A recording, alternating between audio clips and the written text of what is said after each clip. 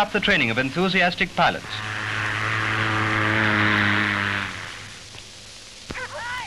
The only school for sled dogs in the world in New Hampshire. The graduating class is at work and the kindergarten comes to watch.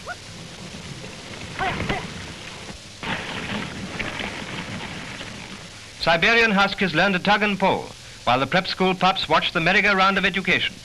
These kennels supplied the teams for a great Antarctic expedition. Summer training for winter sledding. Take a look, chaps. You'll be doing it soon.